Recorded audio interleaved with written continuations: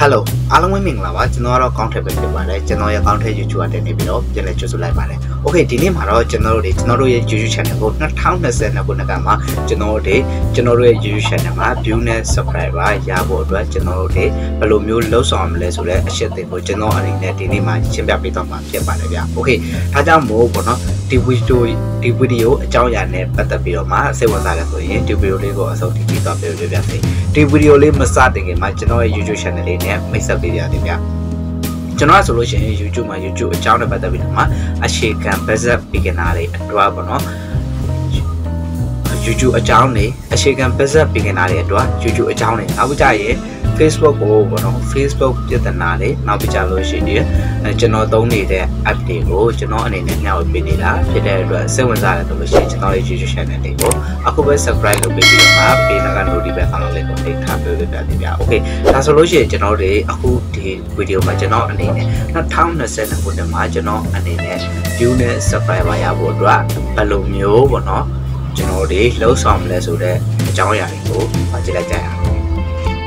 Let's go Okay ပထမအဆုံးတစ်ချက်ကတော့ကျွန်တော်တို့ရဲ့ YouTube channel က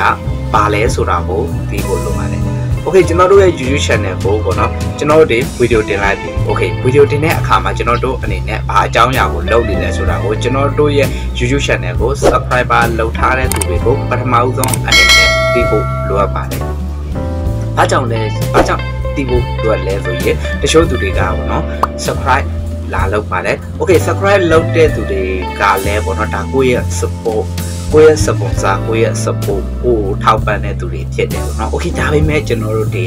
ဒီကျွန်တော်တို့ရဲ့ video တွေကိုအမြဲတမ်းကြည့်နေတဲ့သူဖြစ်ဖို့လိုအပ်ပါတယ်။ Okay ဒါကြောင့်မို့ကျွန်တော်တို့ရဲ့ video တွေကိုတောက်ချောက်ကြည့်နိုင်အောင်ကျွန်တော်တို့ video တင်တိုင်း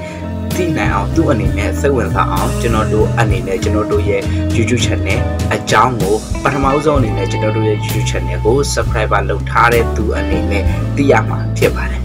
။ Okay နံပါတ်1တစ်ချက်ကြတော့ဘောနော်ကျွန်တော်တို့ရဲ့ idea ကိုသူ့အနေနဲ့တကယ်လိုအပ်လား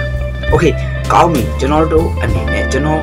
ဗီဒီယိုလုပ်လိုက်တဲ့အခါမှာပေါ့နော် subscribe လုပ်ပေးပါဆိုလို့သူလုပ်လိုက်တယ်ဒီအကြောင်းအရာကိုကြိုက်တဲ့လို့လုပ်လိုက်တယ် Okay ဒါပေမဲ့သူက ဘယ်အကြောင်းအရာကို subscriber လုပ်ထားတဲ့သူကပေါ့နော်ဘာကြောင့်ဘယ်ဗီဒီယိုမှာဘာကြောင့်ကျွန်တော်ကိုယ့်ရဲ့ YouTube channel ကို subscribe လုပ်ထားတယ် Okay ကိုယ့်ကို subscribe လုပ်တဲ့သူရဲ့အတေကျူကိုသိရမှာဖြစ်ပါတယ် Okay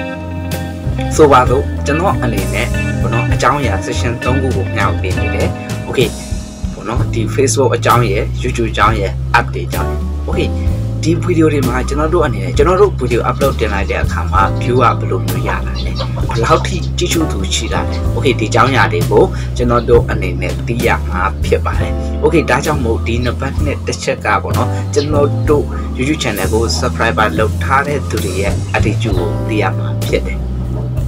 Okay ဒါဆိုလို့ရှိရင်ကျွန်တော်ဒီနောက်ထပ်တစ်ချက်က ပါလဲနောက်တစ်ခါသုံးတစ်ချက်ကတော့ကျွန်တော်တို့ရဲ့ YouTube channel မှာဗီဒီယိုတွေတင်ပြီးတဲ့အခါမှာကျွန်တော်တို့အနေနဲ့ပြထားတာ Okay ဒီပြထားတာကိုကျွန်တော်ခဏခဏပြောတယ် YouTube မှာဗီဒီယိုတင်ပြီးရုံနဲ့လုံးဝမပြီးပါဘူးကျွန်တော်တို့ဒီလှုပ်ဆောင်ရမယ်အချက်တွေအများကြီးရှိပါတယ် hashtag တွေသုံးမယ် keyword တွေသုံးမယ် okay ဒီ keyword နဲ့ပတ်သက်ပြီးတော့မှအကြောင်းအရာတွေကိုသိချင်လို့ရှိရင်ကျွန်တော်ရဲ့ YouTube channel ကပေါ့နော်ဒီဗီဒီယိုကိုကြည့်လို့ရပါတယ် Okay ဟပ်တဲ့အကြောင်းကိုကျွန်တော်နောက်ထပ်ဗီဒီယို episode မှာကျွန်တော်အနေနဲ့ရှင်းပြပေးတော့မှာဖြစ်တဲ့အတွက်နောက်ထပ်ဗီဒီယို episode တွေကိုကြည့်ရှုပေးဖို့အတွက်ပြောပြသေးတယ်။ Okay ဒါကြောင့်မို့ကျွန်တော်ကအခုဒီ2022ခုနှစ်ကမှကျွန်တော်တို့ရဲ့ YouTube channel ကိုကြီးထွားဖို့ဆိုရင်ဒီအချက်၃ချက်ကိုအခြေခံအနေနဲ့လုပ်ဆောင်ပေးဖို့ပြောပြသေး